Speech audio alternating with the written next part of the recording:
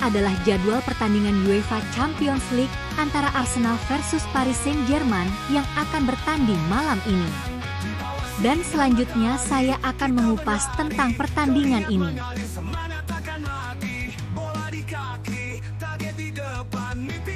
Berikut perihal jadwal UEFA Champions League dan diselenggarakannya pertandingan Arsenal versus Paris Saint-Germain.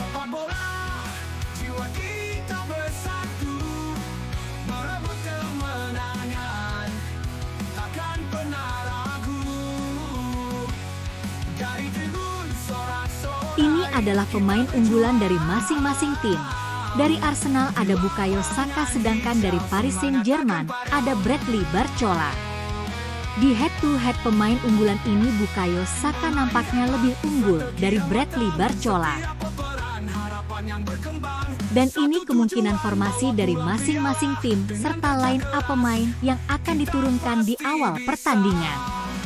Mikel Arteta nampaknya memasang formasi 4-4-2 untuk Arsenal. Sedangkan Luis Enrique memakai formasi andalannya yaitu 4-3-3 untuk PSG. Berikut adalah pemain yang akan absen di pertandingan nanti.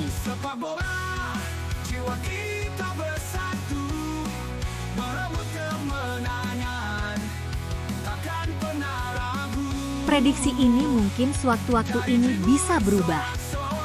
Sedangkan ini adalah pertandingan masing-masing tim dari laga sebelumnya di UEFA Champions League.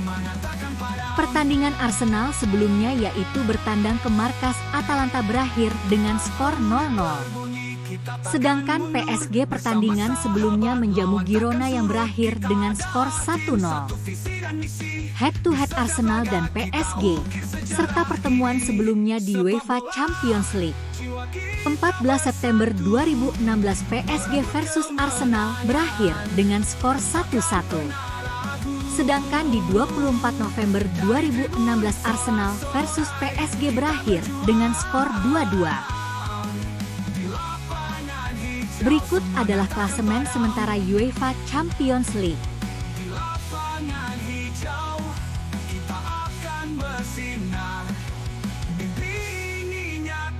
Mari kita buktikan.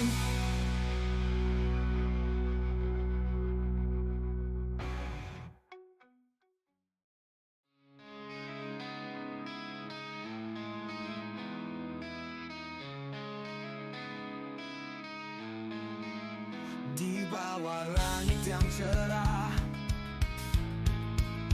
Kita berdiri bersama